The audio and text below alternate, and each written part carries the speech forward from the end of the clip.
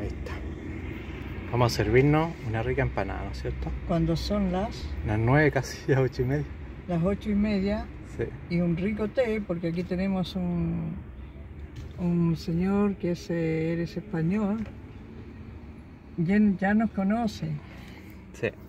porque mm, aquí comemos empanaditas. Panadería Las Nieves. eh, panadería Las Nieves. Frente a la municipalidad Cisterna. De paso le hacemos reclame, Gran porque es una excelente en gente para atender. Sí.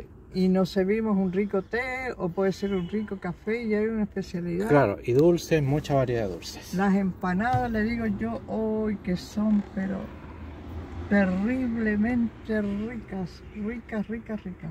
Muy ricas. Así que buen provecho y gusto de saludarlos a todos.